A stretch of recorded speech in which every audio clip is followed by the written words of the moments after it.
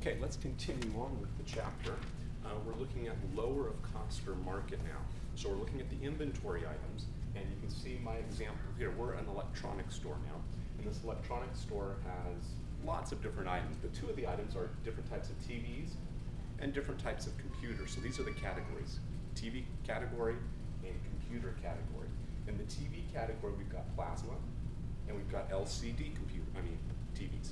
In the computer area, we've got PCs, but we also have laptops. Now you can see I put up some uh, numbers so that we can take a look at how we do this lower of cost or market. Because with inventory, we always carry our inventory at the lower of the cost or the current market value of the item. Okay, that's how we carry our inventory. Now there's different methods on how we do this. We're going to look at that in just a second. So you can see here we have 10 plasma, 20 LCD TVs, 15 PCs, 10 laptops. Here are the costs. $500 for the plasma. So what we need to do now is we need to carry this across. What's the total cost of plasma TVs? Well, we're going to take the 10 units times the $500 value, which the cost that we pay for it, and that gets us $5,000 cost. Okay? Now the market value right now, they've gone up, which is good for us. Okay? The actual market value is 55 $550, so that's a total market of 5500 okay? Now, on homework and tests, this information has to be given to you. You have to know what the categories are, what the items are, you have to know the unit values and the, the cost and the market. What you're going to be doing is finishing this up. You've got to get your total costs for every item and category. You have to get your total market value for each item and then category. And then we're going to look at what's lower, the cost or market. And we're going to do it in three different ways, items, category, and the whole inventory. Okay, so let's continue on now. Okay, we were given 20 LCD TVs. Uh, the cost right now was $600, that's what we paid for them. So the total then is 12, uh, 12,000, 20 times 600 is 12,000. And then 20 times our market price, what the market cost right now is, is 620. So that would get us 12,400. 20 times 620 is 12,400, so the total market is that.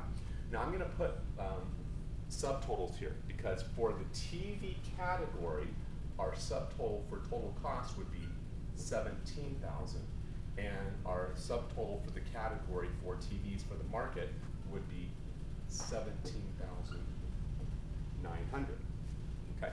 Now let's continue on. We're going to do the same thing with our next, our next items and categories. Okay, PCs we have 15 times $1,000. Okay, so that's $15,000 is our total cost for the PCs. And then 15 times 9 is 13, 900 is 13,500. Okay, now 10 laptops times $700 gets us 7,000, and 10 uh, laptops times $650 gets us 6,500. Now let's total these up. So that's 22,000, and this is 20,000. Okay, I'm just totaling them up. 15 and 7 is 22, 13, 5, and 6, 5 is 20,000. So this is the total by categories.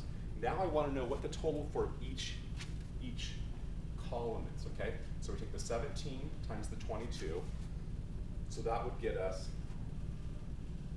39,000. And then 17.9 times 37, I'm sorry, 17.9 times 20 is 37. Uh, thinking a little bit faster than I'm writing. Okay, so 17,900 plus the 20,000 for the computer, so the TVs and the computers total 37,900. Okay, so now we've done all of our math calculations. Now we need to apply this by item, by category, the CAT is category, and by the whole inventory.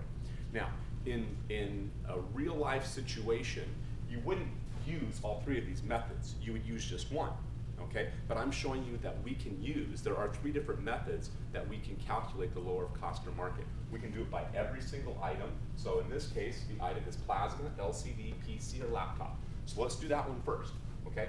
Plasma What's the lower one? The cost or the market? Which is lower? Well, cost is lower. So that's all you do. Very simple. 5,000. Okay? For our LCD, uh, LCD TVs, which is lower? Cost or the market? The lower one is the cost. Okay? And now we just continue on. For the PCs, what's lower? Cost or market? In this case, it's the market. And lastly, our laptops, what's lower? Cost or market? It's the market. Okay? Now, if we want total these all up, they would total, it says 20, 32, 37,000. So there would be our total for lower cost or market for by item. Okay? So if a problem asks you calculate the lower of cost or market for these inventory items using items, this is how you do it. You do the lower of cost or market by each item. And your solution would be 37,000. Here it is by each item. Okay? If the problem asks you to do this by category, then what you're going to do is you're going to look at, well, the category. We have two categories in this inventory. We've got TVs and we've got computers. Okay? So what you do is you don't look at items, you look at the subtotals for the categories. What's lower? Market, I mean, I'm sorry, cost or market. In this case, it is the cost. That would be 17,000. And in this one, what's lower? Cost or market? In this case, it would be the market is lower, 20,000. So then when you total these up, it just so happens that it also equals 37,000. That's not always the case, but sometimes it can be. But since we didn't have very many items here, uh, that can happen frequently, okay? But can see that we did it by category. We didn't do it by item, we did it by these subtotals, by the category, okay? Now, lastly, what we're gonna do is we're gonna look at the whole inventory. So if the problem asks you to calculate lower of cost or market by the whole category, you still have to multiply all these things out, the units times the cost, units times the market, get all this information, but then you just look at the whole inventory. And which one's lower? In this case, it's, oops, it's the market, 37,900. So our whole inventory would be 37,900 if you were doing it by the whole inventory. Okay, so now we've gone through an example of lower of cost or market. Uh, let me just remind you that this information, all of this information over here, this direction, this all is given to you. Okay? In homework problems, on tests, this information would need to be given to you.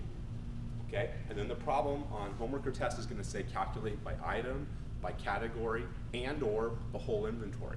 So then what you need to do is you need to multiply all these out to get your uh, total cost and total market so that you can do your subcategories, you know, your subtotals, and then the total for the whole market, I mean for the whole inventory, and then you can uh, choose by items, category, and whole, uh, what's the lower of cost or market. Okay? Well, good luck with this chapter. Uh, we'll be moving on to the next chapter very soon. Good luck.